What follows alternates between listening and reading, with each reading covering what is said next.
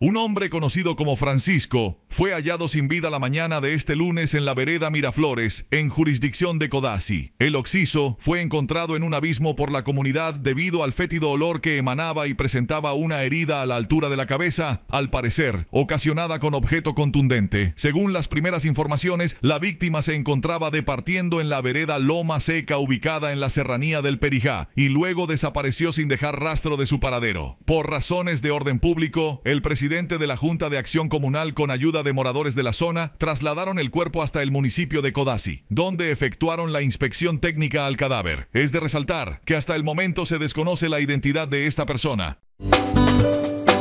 Ricardo Rojas Osorio, especialista en diseño y confección de moda masculina a la medida. Brindamos asesoría de imagen completa y además presta los servicios de entalle y arreglos de toda clase de prendas de vestir. Aparta tu cita al 318-401-0676 o visítalos en la carrera cuarta, número 13A bis 07. Ricardo Rojas Osorio, te llevamos a vivir la experiencia del buen vestir.